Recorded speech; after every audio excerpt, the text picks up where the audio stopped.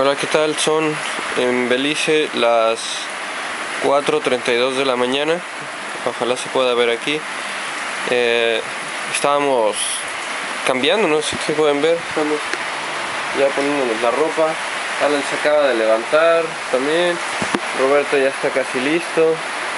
Y pues el problema básicamente no se alcanzan a escuchar como dicen, nos cayó el temporal. Empezó a llover, una lluvia bien fuerte ahorita, no tiene ni un minuto que empezó a llover. No, va comenzando la lluvia. Ojalá que sea una nube aislada. Quién sabe porque esperaban un. Esperaban un, un temporal malo que entraba. Según ya nos habían dicho que venía. Y algunos decían que no, que llegaba hasta el, hasta el miércoles. Pero al parecer ya entró. Sucede.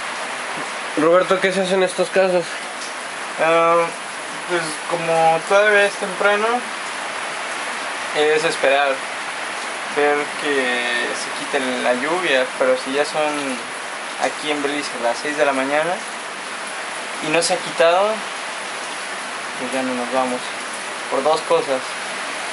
La primera, si sigue lloviendo muy fuerte, pues es peligroso. Es peligroso viajar tantos kilómetros con mucha lluvia y que no vas a poder controlar bien tu, bicicleta o que no sabes, sobre todo aquí que hay muchos baches, no sabes dónde vas a caer. Y la tercera, la segunda porque ya es tarde. Y es tarde porque si deja llover nos va a agarrar el sol y como el agua que se va a estar evaporando va a provocar que sea un sauna eso, entonces nos va a fatigar casi el doble. Entonces no se recomienda, además que es una distancia pues, larga, vamos a recorrer cerca de 89 kilómetros. El vecino quiere que vayamos a la fiesta, Alan. Nos invitaron el día de hoy a una fiesta del club por, por el Club Drag de Joshua porque tuvieron una recaudación de fondos y quieren celebrar el que lograron su objetivo y porque ganaron también un premio. Entonces querían que nos quedáramos Oye, tal vez ellos pagaron porque lloviera Puede ser. Bueno, vamos a esperar un rato y pues ya les contaremos qué, qué pasó. Ahí les avisamos. Por cierto, aquí es donde dormimos. Hoy me tocó dormir arriba. Somos una litera.